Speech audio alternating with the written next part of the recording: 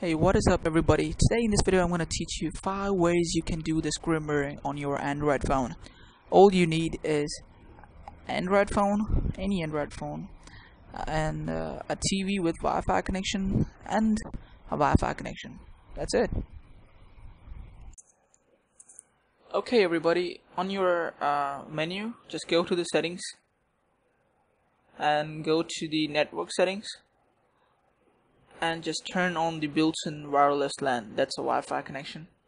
So and by the way uh, if you're doing this for the first time just make sure you have uh, set up the network by entering your Wi-Fi password and stuff like that. Uh, you can uh, leave it leave the Wi-Fi direct option as it is because um, yeah we will turn it on later on this video.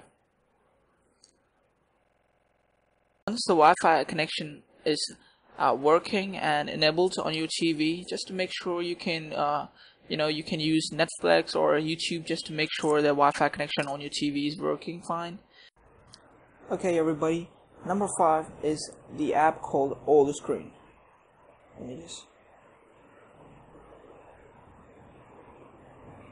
okay so the All the Screen app is pretty simple now just make sure your phone and your TV is connected to the same Wi-Fi network and you can get this app for free. And by the way if you're thinking that these guys are sponsoring me or anything don't worry about it. I, am using this app currently. I'm not getting paid or anything. Go ahead and open the app. When you open the app it will it will show you this screen okay this screen will tell you that uh, you can uh, mirror your uh, uh, photos your audio files and even you even even videos if you have on your phone. Okay so go ahead and click audio or maybe you can just you want to uh, see some pictures you can just go to gallery. Let me just uh, open up a picture. When you click on some file it will it will show you that do you want to cost cost that photo to your TV now just make sure that's the exact same model as your TV's model. Now that is indeed my TV. So what I'm gonna do is to I'm gonna just click on it, and uh, it will uh, it will cost that picture to my TV. Okay, so uh, the song right now playing should be Accents, uh, All Alone, and you can see that's the song on TV right there. See? Now you can play with this app. I'm pretty sure it's the best best app. If you don't have a screen mirroring feature on your uh, phone or you just want to listen to some music that's it. Okay guys now jumping on to number four that's gotta be a YouTube app. Now if you're wondering that what's what's a YouTube app gonna do? It's pretty simple. When you open a YouTube and you can uh, let me just type a video. Okay guys. Alright uh, when you open a YouTube app, it will show you this uh, this screen mirroring icon on the top. But you don't have to do it. Whenever whenever you play a video, like for example, this is a video I want to play, you can just go ahead and click that icon on the top. Let me just show you again. Okay, so uh, okay, so this is the video I want to play on the TV, right? So I'm gonna go ahead and click that screen mirroring icon on the top there. Okay so it's gonna go ahead yep see? That's gonna connect to my TV and you can see that's a that's a sign of connecting right? Because a black screen now. And it's connecting to my TV right now see? It all it automatically opens up the YouTube channel. I mean YouTube app to play that video. See?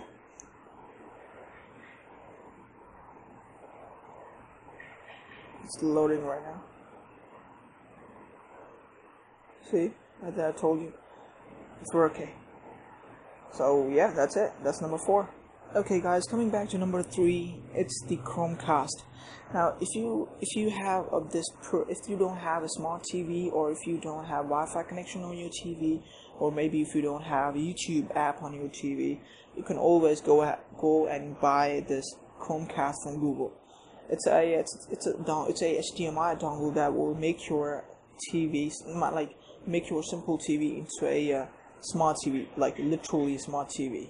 Okay, everybody. Uh, number two would be the Smart View app, and uh, yeah, well, it's for Samsung users. So if you are a Samsung user, you can always use this app on your phone and it will automatically connect your phone to your TV without doing anything. So I'm not a Samsung user because this is a LG phone and that TV is a Sony TV so that's why.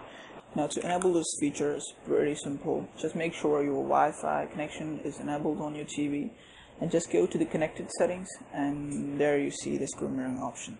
And when you click on it, it will automatically opens up a hotspot connection to connect to your um, cell phone. Like for example I'm gonna do this right now. Okay so here's a quick tip for uh, if you are a user of Samsung phones. Right now I'm using an LG phone. So if I'm gonna if I'm an LG user so I have to go to settings. Just go to the settings. And uh, once in the settings go to the share and connect option. And there you will see the Miracast feature now that's the screen feature, but LG LG likes to call it Miracast. And by the way, just turn it on. And wait a second. Okay, just turn it on, and it will search for the connected devices. Okay, see, that's my TV. And if you are a Samsung user, you can always just uh, drop the notification panel and click click on the top right corner. That's gonna expand your notification panel. And under notification panel you should be able to see uh, a feature called screen mirroring if you are a Samsung user. And if you are other phones user you can always just go to the settings and find the screen mirroring feature by using search option or anything. Okay now when you see your TV just go ahead and click and it will automatically start connecting your TV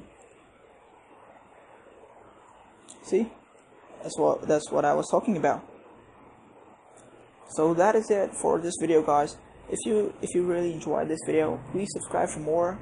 And yeah that's it. I will be uploading more screen mirror related videos um, every Friday Saturday Sunday. So if you have any queries just comment down below and I will surely uh, help you out. Thank you so much for watching guys. Peace out